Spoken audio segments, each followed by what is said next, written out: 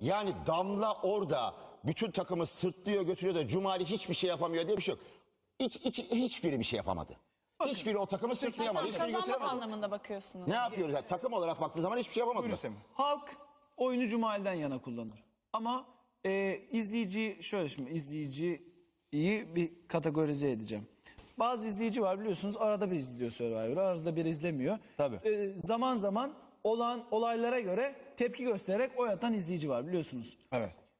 Bu, e, bu izleyici de e, Survivor'a ciddi anlamda yön veren bir izleyici. Bu Kıbrıs zamanında, final zamanında çok ciddi e, yarışmaya ağırlığını koyan izleyici. Çok fanatizm boyutunda değil de daha böyle Survivor'ı e, genel bir şekilde izleyen izleyici. Bu e, Cumali'den yana oy kullanacak kitle.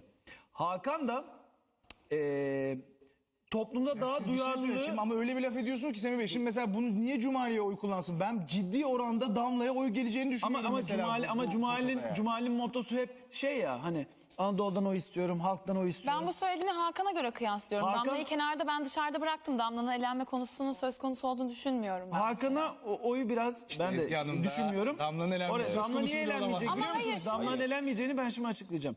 Ha- e, Ha- Hakan'a da oy şuradan gelecektir. Toplumsal e, duyarlılığı böyle bazı konularda e, hassas olan kişilerin Hakan'ı Hakan'ın Survivor izleyicisi gözünde kredisi var. Daha devam edecektir. Ve de çok güzel bir konuşma yaptı Hakan.